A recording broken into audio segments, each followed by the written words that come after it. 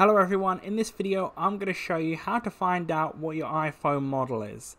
So I'm going to show you the iPhone model as in like iPhone 6, iPhone 6s type thing and also the serial number, the IMEI number, and the model number and all that type of stuff as well. It's all in the same place.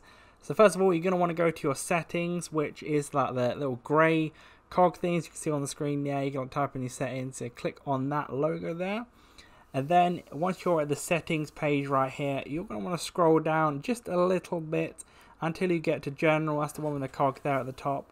So I'm going to click on general. And then once you get to the general menu it's just going to be the one at the top which says about. You want to click on about. And then it's going to bring uh, this about menu up right here. So you can see I've blocked a few uh, things out uh, just to make sure there's some numbers here you shouldn't really show uh, but you can see that the model name, like this one right here, is an iPhone 6s. So you can see that. You can also, even though you can't see it, you will see there on your phone the model number, the serial number.